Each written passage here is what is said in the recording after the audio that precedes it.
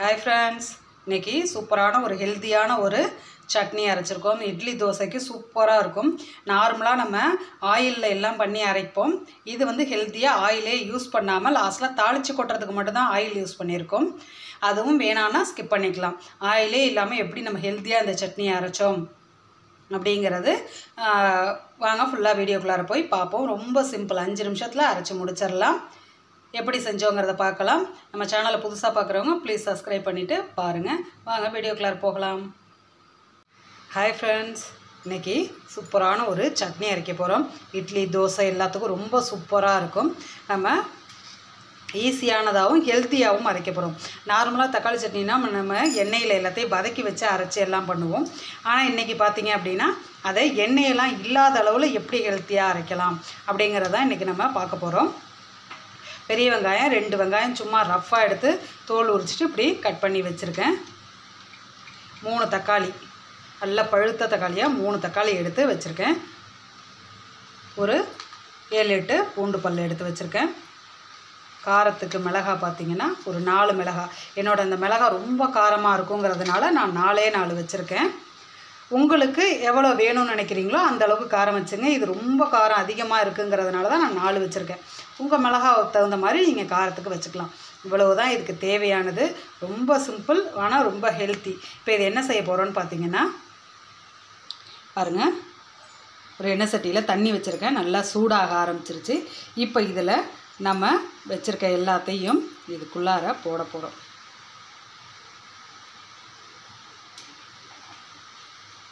பூண்டு மிளகாய் இந்த வெங்காயம்.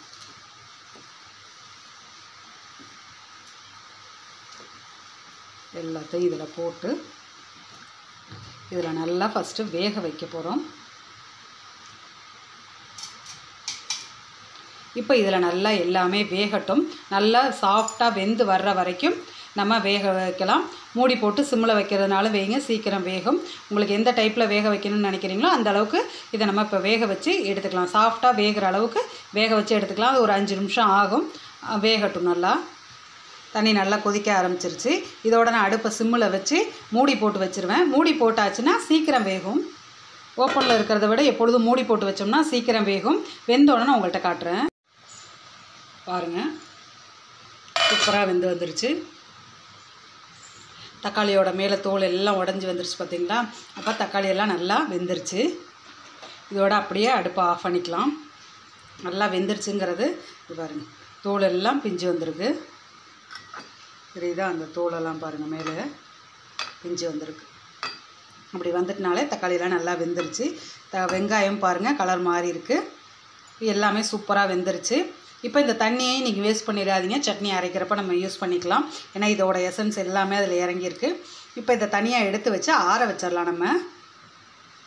எல்லாத்தையும் இப்படி எடுத்து தனியாக நம்ம ஆற வச்சிட்டோம்னா சீக்கிரம் ஆறிடும் ஈஸியாக அரைச்சிடலாம்.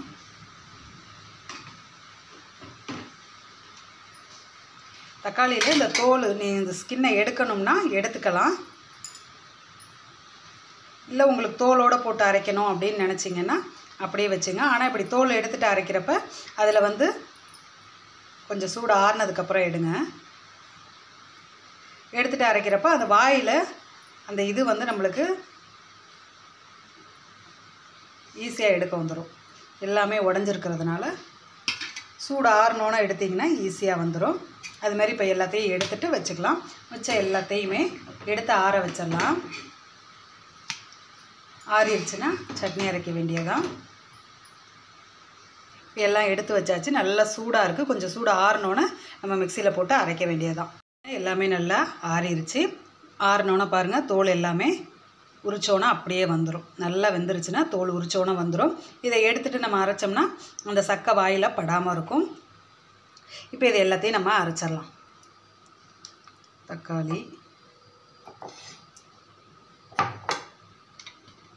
மிளகாய் பூண்டு எல்லாத்தையும் எடுத்து இதில் அப்படியே போட்டுக்கலாம்.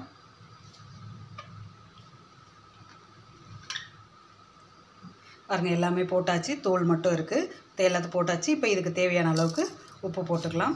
இப்போ இதை நம்ம நல்லா நைஸாக அரைச்சிட்டு வந்துடலாம்.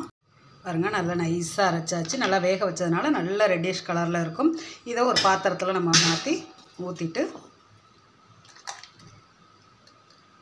இந்த வேக வச்ச தண்ணியை ஊற்றியே நம்ம கழுவி இதை ஊற்றிக்கலாம் எடுத்து வச்சாச்சு வேணுங்கிற அளவுக்கு.